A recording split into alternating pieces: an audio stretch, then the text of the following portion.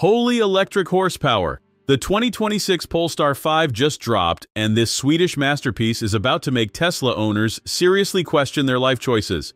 Picture this 884 horsepower, 0 to 60 in 3.1 seconds.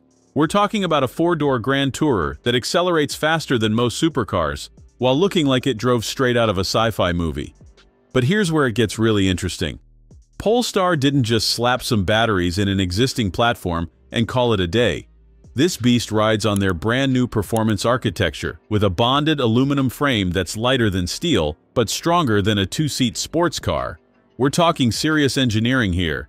The interior is pure Scandinavian minimalism done right. 4 plus 1 seating means you get luxury for 4 adults or squeeze in a fifth when needed. Those Recaro front seats with ventilation and massage functions? Chef's kiss. And that panoramic glass roof stretches over 2 meters long making the cabin feel like a spaceship.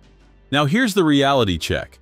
With prices starting at $140,000 for the base model and climbing to $167,000 for the performance, this isn't exactly budget-friendly. Plus, since it's built in China, those tariffs might make it even pricier in the States.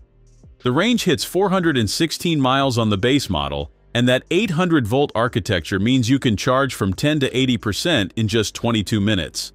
Game changer for road trips. Bottom line, the Polestar 5 is what happens when Swedish design meets electric performance. It's gorgeous, it's fast, and it might just be the luxury EV that finally makes sense. What do you think? Does the Polestar 5 have what it takes to challenge the Porsche Taycan?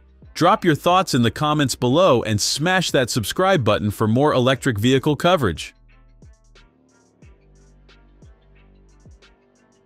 Thanks for watching. If you enjoyed this video, hit that like button and subscribe for more content just like this. Leave a comment below with your thoughts or questions. I read every single one. And don't forget to click the bell icon to get notified about my next upload. See you in the next video.